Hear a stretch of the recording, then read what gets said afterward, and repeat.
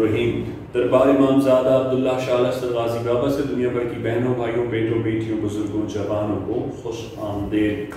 औलिया अल्लाह के ख्वाब कैसे होते हैं? हम तो आम लोगों के ख्वाब सुनते हैं और आप आम लोगों के ख्वाब सुनते होंगे। तो ये कैसा होगा कि आपको ये पता लगे कि औलिया अल्लाह, जो सेंट्स ऑफ़ अल्लाह हैं, वो कैसे ख्वाब देखते होंगे? औलिया अल्लाह के ख्वाब ऐसे होते हैं जैसे बाबा फरीद हैं, साबिर अलाउद्दीन, कलील शरीफ हैं, हज़रत निज़ामुद्दीन औलिया हैं अमीर खुसरो हैं, हज़रत बाबा बुल्ल शाह हैं, और सूफ़ी नाजर हुसैन हैं, सूफ़ी इनायत अली हुसैन शाह हुसैन शाह साहब हैं, जो कि हज़रत शाह के मुर्शद हैं। इसी तरह ख्वाजा ख्वाजगान मोइनुद्दीन चिश्ती हैं। इसी तरह मिस्री शाह गाजी हैं नूरी शाह बाबा हैं बहाउद्दीन ज़क्रिया मुल्तानी हैं शम्स तब्रेज़ हैं। ये वो बुजुर्गान दीन हस्तियाँ हैं कि इनके ख्वाब कैसे होते होंगे। तो आ, मेरे मुर्शद से तो मुझे इजाज़त नहीं है लेकिन जहाँ तक की इजाज़त है वही चंद ख्वाब आपसे शेयर कर रहा हूँ कि ये हस्तियाँ जब ख्वाब में देखती हैं तो इस दर्जे पर इनके ख्वाब होते हैं। वो तो इंसान तयन और तस्वुर कर ही नहीं सकता है। लेकिन शुरू में इनके ख्वाब, जो चंद एक आपसे मैं बयान कर सकता हूँ कुछ इस तरह से हैं। औली अल्लाह ख्वाब में हमेशा अपने आप को सारे जहान की मखलूक को मातहत देखते हैं। उसमें जानवर, उसमें शेर, उसमें हैबतनाक जानवर, दरिंदे, चरिंद, परिंदे, सांप बिच्छू, जहरीले जानवर, सबको अपना मातहत देखते हैं। औलिया अल्लाह ख्वाब में सरकश से सरकश इंसान को अपने आप को सजदा करते हुए देखते हैं। यानी कि कोई बदमाश से बदमाश आदमी है, दुनिया परस्त है, गुजरने वाला राहगीर है, वो उनके पास से गुजरता है तो उनको सजदा करते हुए गुजरता है। ताजीमी सजदा, ताजीम करते हुए एहतराम उन्हें सजदा करता है।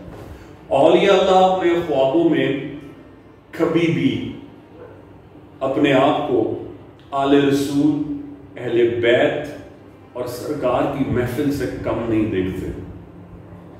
औलिया अल्लाह जब अपने ख्वाब देखते हैं, उनके ख्वाबों की एक जो और अहम तरीन बात होती है, जो कि ज़ाहिर है किसी को पता ही नहीं होगी, वो ये होती है कि उनकी नींद दर हकीकत एक जिस्म का नफी और ना होता है।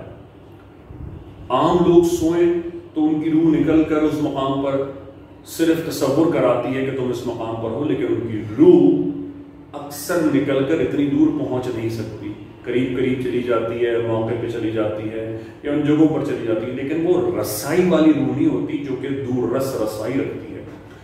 औलिया अल्लाह का जिसम, चाहे वो सोने की हालत में हो या हालत इस्तराब हो, आँखें बंद करें या सोएँ, उनकी असल हालत होती ही कहीं और है। या तो वह लाहूत लामकाम में होते हैं, आलम सकरात में होते हैं, आलम जावेदा लाहूत में होते हैं, या फिर वो सरकार की महफिल में होते हैं। उनके ख्वाब इसीलिए बयान होने की ताकत नहीं है मेरे अंदर, ना मैं बयान कर सकूँ, क्योंकि वो उनकी, उस कुरब के ख्वाब होते हैं कि जबान इतनी ताकत नहीं रखती कि उस मंजर को बयान कर सके।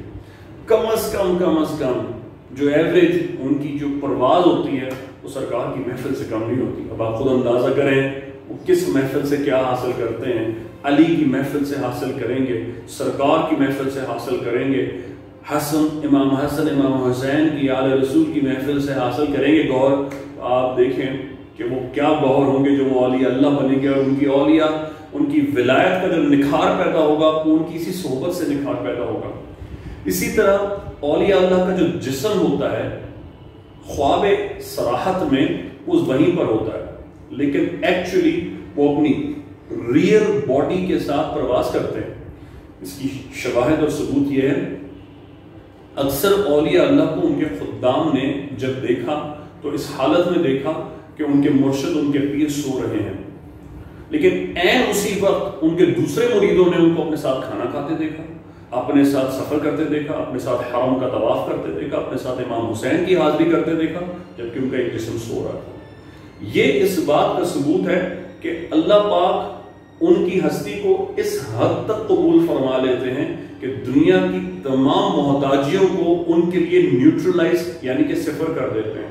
यानी कि वो लॉ ऑफ़ यूनिवर्स उनके जिस्मों पर अप्लाई ही नहीं होता, क्योंकि आम इंसानों पर अप्लाई करता है। जैसे कि आग का जला देना, जिसम का रुक जाना, थक जाना, एक हिम्मत से आपके लंग्स का आपको एक सफ़र को तय करा देना। आपका हिम्मत हो और एज हो तो चलना, जबकि सूफी और दरवेश से बिल्कुल फ़र्क होते हैं। वो जैसे जैसे बूढ़े होते जाते हैं, उनकी विलायत उतनी उतनी जवान होती जाती है। वो जैसे जैसे अपनी उम्र का रफ्तार और मुद्दत वक्त तय करते जाते हैं उनकी रूहानियत और विलायत उतनी ही बुज़ुर्ग होती जाती है।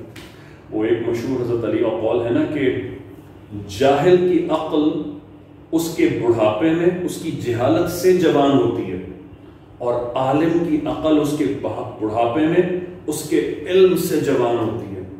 अल्लाह महमद या गाजी।